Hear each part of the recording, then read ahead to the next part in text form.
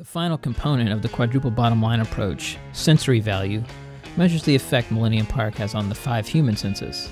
But how do you measure a smell or apply value to a sound? Sensory value approach to research is, is by nature both um, quantitative and qualitative.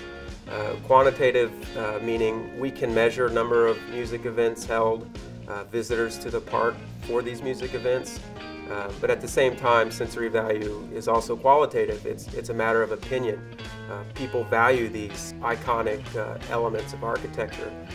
70% of sensory value is visual. So the world-class art and architecture uh, have a huge impact on how the park is perceived and enjoyed by the general public. Within the park, there are four iconic elements, all created by world-class architects and artists. You have Gehry's uh, BP Bridge and Jay Pritzker Pavilion, and then you also have the Crown Fountain by Plensa, and then Cloud Gate by Kapoor. The value of Millennium Park would be diminished had the leaders and the visionaries for this project not brought these world-class artists and architects to the site. The story that we told to the community that stirred their blood was that we wanted to define Chicago to the world, and to do that, we would bring the world's best artists and architects and designers to Chicago and define the city. And that set a tone, if you will, for the park because when you go around to tell your story, everybody knows that, uh, that you're seeking something at a higher level. The iconic visual elements of Millennium Park clearly provide visitors with sensory value. But it's not only a feast for the eyes. There's also um, sound. All the concerts and the sights and sounds of all the public activities generate a very positive environment from the sound perspective. The Pritzker Pavilion houses the only uh, sound system of its type in North America, so obviously a premium was placed on sound quality.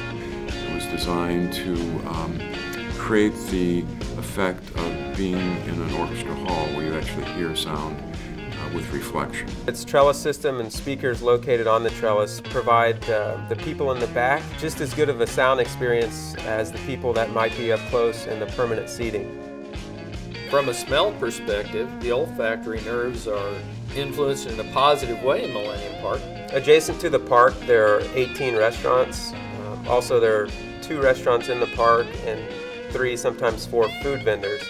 And all of these restaurant spaces add to the sense of smell you get from walking through the park or walking around the park. We do not want art that people couldn't touch. So the idea of um, interacting with the art, even though uh, in some cases it costs us money because we have to clean the art more frequently, uh, to be able to get in the art, whether you're handicapped or, or a kid, um, all that was important. The artists were selected on that basis. Whether it's um, Kapoor's Cloud Gate that you can touch, the water running from Crown Fountain that you can hear, the sound coming from the pavilion.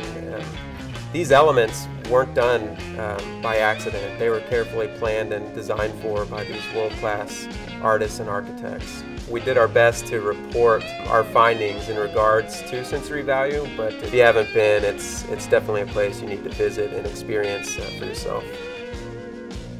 Quadruple net value is the holistic value that real estate generates in an urban environment. There's a great deal of interest in understanding the value of good design. And of course, Millennium Park is a, uh, a great research example of uh, how to measure the value of urban design.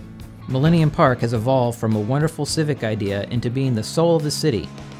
The park's evolution continues on a grand scale, which generates new experiences and repeat visitation beyond original estimates.